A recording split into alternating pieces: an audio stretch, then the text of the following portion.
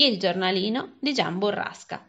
8 gennaio. Sono qui in camera mia e sto aspettando il babbo che deve venire a prendermi, perché purtroppo ieri il collalto gli ha spedito la famosa lettera e quel che è peggio con l'aggiunta delle ultime mie birbanterie. Questo è il nome che egli dà alle disgrazie che possono capitare a un povero ragazzo perseguitato dal proprio destino, che pare si diverta a ricacciarlo nell'abisso proprio nel momento in cui tenta di risollevarsi alla stima dei propri genitori e parenti. E le disgrazie, si sa, non vengono mai sole, motivo per cui ieri me ne sono successe diverse, collegate insieme in modo che se i grandi non fossero sempre propensi a esagerare l'importanza dei nostri errori, si dovrebbero considerare logicamente come una disgrazia sola. Ed ecco per filo e per segno come andò la faccenda. Ieri mattina, mentre la sora Matilde era fuori di casa, andai nel suo salottino da lavoro, dove avevo visto entrare Mascherino, il grosso gatto bianco e nero prediletto di mia cognata. Sul tavolino da lavoro stava la gabbia col canarino, un'altra creatura che gode la protezione della sora Matilde, la quale, come dicono tutti, vuol molto bene alle bestie, mentre non può soffrire ragazzi, cosa questa assai ingiusta e che non si spiega. E poi non ho mai capito che razza di bene sia quello di tenere, per esempio, un povero uccellino rinchiuso in una gabbia, invece di lasciarlo volare libero per l'aria come è sua abitudine. Povero canarino. Mi pareva che mi guardasse e cinguettando dolcemente mi dicesse come nel libro di lettura che avevo in seconda elementare Fammi gustare anche per poco la libertà che da tanto tempo m'è negata. La porta e la finestra del salottino erano chiuse, non c'era pericolo, perciò che il canarino potesse scappare. Io gli aprì la gabbietta ed esso si affacciò girando il capino qua e là, tutto sorpreso di trovar l'usciolino aperto. Poi finalmente si decise e uscì dalla prigione. Io mi ero messo a sedere su una sedia, col gatto sulle ginocchia, e stavo osservando con grande attenzione tutte le mosse del canarino. Forse l'emozione o altro, per prima cosa la povera bestiola sporcò un bel ricamo di seta che era sul tavolino, ma siccome non era ancora finito pensai che fosse poco male, che la sora Matilde avrebbe potuto rifarlo facilmente. Ma il gatto, forse dando alla cosa una maggiore importanza, volle punire crudelmente l'infelice canarino. Il fatto è che mi saltò via un tratto dalle ginocchia, balzò su una sedia che era tra mezzo rovesciandola e di lì sul tavolino abbrancò il povero canarino e lo divorò in un boccone prima ancora che io potessi pensare a impedire una simile tragedia. Però a mia volta volli punire esemplarmente la crudeltà di Mascherino, perché in avvenire, in simile occasione, non avesse a ricadere nello stesso difetto. Accanto al salottino da lavoro della sora Matilde c'è la sua stanzetta da bagno. Io dunque vi entrai e, salito su una sedia, aprii la cannella dell'acqua fredda. Poi afferrai il gatto per il collo e lo tenni un pezzo con la testa sotto la doccia, mentre esso si divincolava come se avesse le convulsioni. A un certo punto dette un tale scossone che non lo potei più reggere e Mascherino, gnaolando in modo che pareva ruggisse, si slanciò nel salottino facendo salti terribili attorno alla stanza e rompendo un vaso di vetro di Venezia che era lì sulla console. Io intanto cercavo di richiudere la cannella dell'acqua, ma per quanti sforzi facessi non vi riuscivo. La tinozza era già piena e l'acqua incominciava a traboccare. Peccato, mi dispiaceva molto per l'impianto della stanza da bagno, tutto lucido che era una bellezza, ma fortunatamente l'acqua che già vi scorreva come un fiume trovò uno sfogo nel salottino da lavoro, dove anche io mi ritirai per non bagnarmi troppo le scarpe. Ma ci rimasi poco perché vidi alla console Mascherino accovacciato che mi guardava fisso con certi occhi gialli spaventosi, come se da un momento all'altro mi avesse voluto mangiare come aveva fatto col povero canarino. Ebbi paura e uscii chiudendo la porta.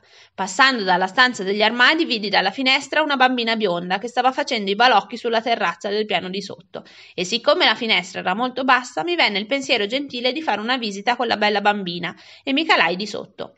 Oh! esclamò la bambina. Chi sei? Non sapevo che la signora Collalto avesse un bambino. Io allora le dissi chi ero e le raccontai la mia storia che pare la divertisse immensamente. Poi mi fece passare in una stanzetta vicino alla terrazza dove aveva le sue bambole e me le fece vedere tutte, spiegandomi in quali circostanze le aveva avute, chi gliele aveva date e via dicendo. A un tratto però cominciò a venir giù dell'acqua dal soffitto e la bambina chiamò la sua mamma dicendo Mamma, mamma, piove in casa! La mamma accorse e rimase molto sorpresa di trovarmi con la sua bambina, ma io le spiegai la cosa ed ella, che doveva essere una signora molto ragionevole, sorrise dicendo Ah, si è calato nella terrazza. Ecco un ragazzo che incomincia presto ad avere delle avventure galanti. Io le risposi molto gentilmente e poi, siccome ella si mostrava assai impensierita per l'acqua che veniva giù sempre più abbondante dal soffitto, le dissi Non tema niente, signora, non piove in casa. Io credo che quest'acqua venga invece dalla stanza da bagno di mia cognata, dove ho lasciato il rubinetto aperto. Ah, ma allora bisogna avvertire di sopra. Presto, Rosa, accompagnate questo signorino dalle signore Collalto e avvertitele che hanno la stanza da bagno allagata. Rosa, che era la cameriera, mi accompagnò infatti di sopra e venne ad aprire il servitore di mio cognato. Ma fu inutile avvertire perché proprio in quel momento era tornata a casa la sora Matilde e si era accorta di tutto. Il servitore di Collalto si chiama Pietro e ha un fare così serio e una voce così grave che fin dalle prime volte mi ha dato sempre una grande soggezione. Guardi, mi disse con un tono solenne che mi fece fremere dal capo ai piedi. Cinque cose aveva la signorina Matilde alle quali teneva molto e che erano, si può dire, le cose che avesse più care al mondo. Il suo canarino che aveva allevato lei, il suo bel gatto bianco e nero che aveva trovato e raccolto per la strada lei stessa quando era piccino, il vaso di vetro di Venezia, che era il ricordo di una sua amica d'infanzia che è morta l'anno passato, il ricamo di seta al quale lavorava da sei anni e che voleva regalare all'altar maggiore della chiesa dei Cappuccini, e il tappeto del suo salottino da lavoro, un tappeto vero persiano, che le aveva portato un suo zio da un viaggio che fece. Ora, il canarino è morto, il gatto è in agonia ed ha di stomaco tutta roba gialla. Il vaso di vetro di Venezia è in mille bricioli. Il ricamo di seta è rovinato e il tappeto vero di Persia è tutto scolorito dall'acqua che ha allagato il salottino. Tutte queste cose le disse lentamente, con aria dignitosa e mesta a un tempo, come se raccontasse una storia misteriosa di paesi e di tempi lontani.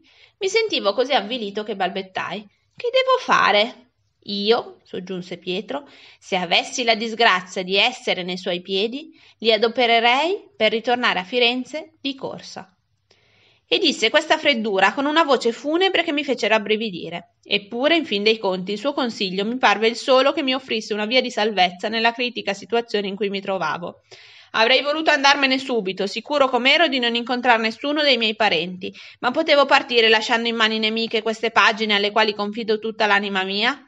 Potevo abbandonarti, giornalino mio caro, unico conforto in tante vicissitudini della mia vita? No, mille volte no. Zitto, zitto, in punta di piedi salì nella mia cameretta, mi misi il cappello, presi la mia borsa e ritornai giù, pronto a lasciar la casa di mia sorella per sempre, ma non feci in tempo. Proprio nel momento in cui ero per varcar la soglia di casa, Luisa mi agguantò per le spalle esclamando Dove vai? A casa, risposi. A casa? Quale casa? A casa mia, dal babbo, dalla mamma e dall'Ada. E come fai a prendere il treno? Non prendo il treno, vo a piedi. Disgraziato! A casa andrai domani. Con l'alto ho spedito al babbo in questo momento la lettera alla quale non ha aggiunto che queste parole. Stamani Gian Burrasca, in meno di un quarto d'ora, ha fatto tante birbanterie che ci vorrebbe un volume a descriverle. Venga a prenderlo domattina e gliele dirò a voce. Mi sentivo accasciato sotto il peso delle mie sventure e non replicai. Mia sorella mi spinse in camera sua e vedendomi in quello stato cedette a un sentimento di pietà e passandomi una mano sul capo esclamò Ma Giannino, Giannino mio, come hai fatto a far tanti danni in pochi minuti che sei rimasto solo? Tanti danni? Io non ho fatto niente. È il mio destino infame che mi perseguita sempre perché sono nato disgraziato. In quel momento entrò il collalto, che avendo udite le mie ultime parole, esclamò a denti stretti: Disgraziato! Disgraziati sono quelli che devono tenerti in casa! Ma per me, questa volta, puoi star sicuro, è una disgrazia che finisce domani. L'accento ironico di mio cognato mi fece tanta rabbia in quel momento che le lacrime mi si seccarono a un tratto negli occhi e scattai. Sì, disgraziato! Qualche volta è vero, mi è successo di far del male, che poi è riuscito in bene per gli altri, come il fatto di quel marchese che faceva i bagni di luce dal professor Perussi, il quale guadagna ora dei bei quattrini con la cura della cipolla che ho inventata io. Ma chi te l'ha detto? Lo so e basta! È come quell'altro fatto della marchesa Sterzi alla quale ho fatto credere che tu mi abbia guarito dalla voce nasale. Zitto! No, non voglio stare zitto e siccome quel fatto ti fece molto comodo, così tu non mandasti la lettera a casa mia per non dare una, un dispiacere ai miei genitori. Succede sempre così. Quando il male che può fare un ragazzo vi torna utile, voi altri grandi siete pieni di indulgenza, mentre poi se facciamo magari qualcosa a fin di bene che ci riesce male, come è successo a me stamani, allora ci date tutti addosso senza remissione. Come? Ardiresti di sostenere che quel che hai fatto stamani era fin di bene? Sicuro, io volevo far godere un poco di libertà a quel povero canarino che si era annoiato a star sempre rinchiuso in quella gabbia. È forse colpa mia se il canarino appena fuori ha sporcato il ricamo di seta della sora Matilde? Allora il gatto l'ha voluto castigare e gli è saltato addosso. È colpa mia se Mascherino è troppo severo e gli si è mangiato il canarino? Per questo fatto si meritava una lavata di testa e io l'ho messo sotto la cannella del bagno. È colpa mia se l'acqua gli ha fatto male allo stomaco? È colpa mia se ha rotto il vaso di vetro di Venezia? È colpa mia se non riuscendomi a chiudere la cannella del bagno l'acqua ha allagato il salotto e ha fatto scolorire il tappeto di Persia della sora Matilde? E poi io ho sempre sentito dire che i tappeti veri di Persia non sbiadiscono. Se è sbiadito vuol dire che non era persiano. Come non era persiano? urlò in quel momento la sora Matilde entrando in camera di mia sorella come una bomba. Anche le calunnie, e che calunnie! Si osa calunniare la buonanima di mio zio Prospero, che era un galantuomo, incapace di regalarmi un tappeto persiano falso. Ah, quale profanazione, mio Dio! E la sora Matilde appoggiò un gomito sul cassettone, alzando gli occhi al cielo e prendendo una posa malinconica che mi è rimasta così impressa da poterla riprodurre come un ritratto con la fotografia e che lì per lì mi fece ridere. Andiamo via, esclamò mia sorella. Non bisogna poi esagerare. Giannino non voleva certo mancare di rispetto a tuo zio. Andiamo via, esclamò mia sorella. Non bisogna poi esagerare. Giannino non voleva certo mancare di rispetto a tuo zio. Non è forse mancare di rispetto a mio zio il dire che mi ingannava regalandomi dei tappeti coi colori falsi? Sarebbe come se dicessi a te che hai le gote tinte col rossetto. Eh no, eh? rispose piccata mia sorella. Non è lo stesso caso perché il tappeto alla fin fine è scolorito, mentre io ho in faccia una tinta che non sbiadisce e grazie a Dio non divento mai gialla. Dio, come le prendi le cose sul serio? esclamò la sora Matilde, sempre più indispettita. Io ho fatto un paragone e non ho voluto dir niente affatto che tu ti tinga. Semmai lo dice qui il tuo signor fratello, che mi ha raccontato che quando eri ragazza avevi il rossetto sulla toeletta. A queste parole mi sentii arrivare uno scapaccione che veniva certo da mia sorella e corsi a chiudermi in camera mia, dalla quale sentii una gran lite che si accendeva tra le due donne, che facevano a chi urlava di più, mentre ogni tanto la voce del collalto cercava invano di calmarla esclamando Ma no, ma sì, ma senti, ma pensa e rimasi nella mia camera finché non venne Pietro a prendermi per andare a pranzo, durante il quale il collalto e Luisa, tra i quali ero a sedere, mi tenevano a turno per la giacchetta, come se io fossi stato un pallone senza frenare, e loro avessero avuto paura che volassi via da un momento all'altro. La stessa scena si è ripetuta stamani per colazione, dopo la quale Pietro mi ha riaccompagnato qui in camera dove sto aspettando l'arrivo del babbo, il quale certamente considererà la cosa dal lato peggiore, come fanno tutti. Intanto Pietro mi ha detto che Luisa e la sora Matilde non si parlano più da ieri, e anche di questo si dirà che la colpa è mia, come se dipendesse da me il fatto di avere una sorella con la faccia troppo rossa e una cognata con la faccia troppo gialla.